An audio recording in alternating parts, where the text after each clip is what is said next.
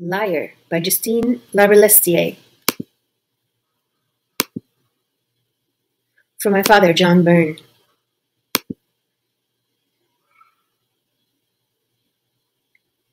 Part 1 Promise.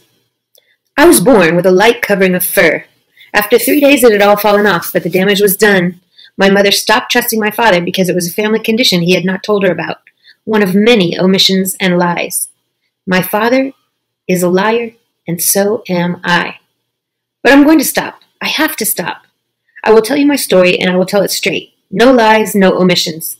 That's my promise. This time, I truly mean it. After.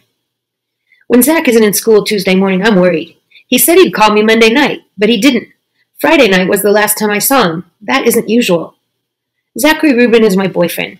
He isn't the best boyfriend in the world, but he usually does what he says he will. If he was going to skip school, he'd have taken me with him. We could have gone running in the park, or ridden around on the subway all day laughing at the crazies, which is mostly everyone.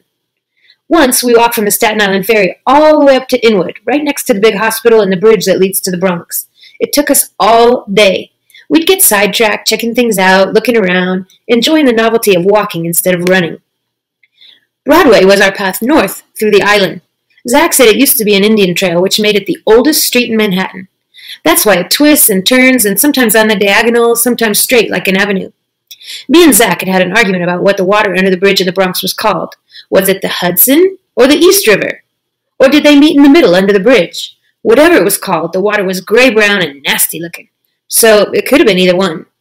That was our best day together. I hope Zach isn't doing anything that cool without me. I'll kill him if he is. I eat lunch on my own, a cold steak sandwich. The bread is gray and wet, soggy with meat juice.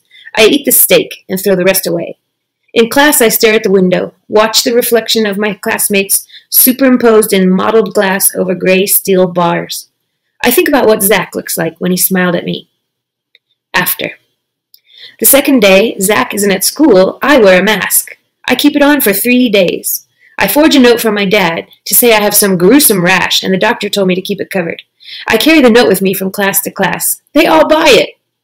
My dad bought me the, brought me the mask back from Venice. It's black leather, painted with silver, and unfurls at each corner like a fern. The silver is real. Under it, my skin itches. They tell us Zach is dead during third period on Thursday. Principal Paul Jones come into our classroom. He isn't smiling. There are murmurs. I hear Zach's name. I look away. I've bad news, the principal says unnecessarily. I can smell the bad news all over him. Now we all look at him. Everyone is quiet. His eyes are slightly red. I wonder if he's going to go to all the classes or just us seniors. Surely we would be first. Zach is a senior.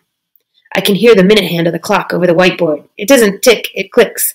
Click, click, click, click. No ticks, no talks. There's a fly in the room. The fan slices through the air. A murky sliver of sunlight cuts, cuts across the front of the classroom, right where the principal is standing. It makes visible the dust in the air, the lines around his eyes, across his forehead, at the corners of his mouth. Sarah Washington shifts in her chair, chair and its legs squeak painfully loud across the wooden floor. I turn, stare at her. Everybody else does too. She looks away.